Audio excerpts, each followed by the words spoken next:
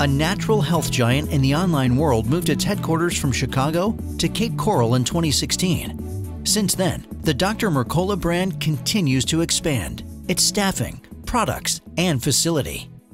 Board certified physician and company founder Dr. Mercola launched Mercola.com in 1997. Today, the website has a dedicated team that sends daily newsletters in 12 languages to an audience of more than 50 million monthly readers. Although the company is best known for its premium dietary supplements, the newsletters focus on broad, holistic messages about health. So Dr. Mercola and our company is known for a philosophy called take control of your health. And that is important because we believe in people need to actually take control in what they eat and eating the right foods, getting the right exercise, and yes, filling in those gaps with supplements. Cape Coral became the top choice for a new corporate headquarters, thanks to Southwest Florida's stellar quality of life, attractive city incentives, and an ideal commercial site that's nearly 17 acres in size. This is exactly what we're looking for.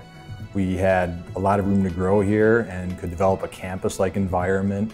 We've hired over 100 employees here in Cape Coral. The workforce here is very talented, um, not just in terms of skill set, but they're also genuinely good people.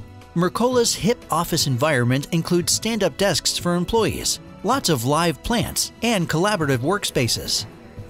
Employees enjoy free organic lunches. The culture of people that I work with, um, it's such a diverse group of people and we get to just laugh and have fun. The Cape Coral headquarters houses several divisions and sells more than 1,000 natural health products. I just moved out here with the company. I came from Chicago. So I really like the restaurants in downtown, um, some good food variety there.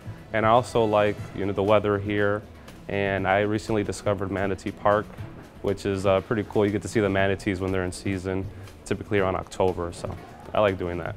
For the Cape Coral community, the best is yet to come as Mercola moves forward with plans to transform six acres into an outside oasis with ponds and walkways, along with a one-of-a-kind retail store and healthy cafe for anyone to enjoy.